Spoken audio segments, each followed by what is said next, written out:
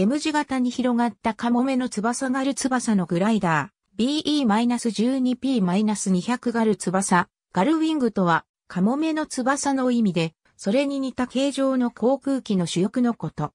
後翼の単葉機や副葉機では、視界の確保などの観点から、翼はできるだけ高い位置にあることが望ましい。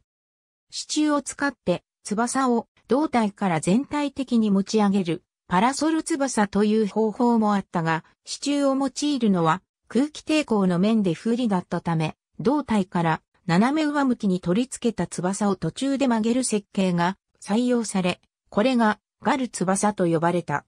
アメリカの PBM マリナー飛行艇やポーランドの PZLP11、ソ連の I-15 などがガル翼を採用した。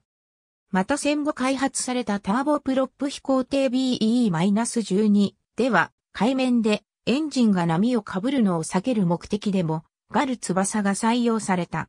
F4U では曲がり角の部分に主脚がついている。プロペラと地面の距離を確保すると同時に主脚を短く、軽くできる前から見て、M 字型のガル翼に対し、上下逆の W 字型となる主翼を逆ガル翼という。エンジン出力増加を活かせるよう直径の大きなプロペラを採用するためや爆弾や増装などの取り付けの作業性を向上させるために胴体を地面から離し、また主脚を短く軽く設計できる等の理由で採用された。ありがとうございます。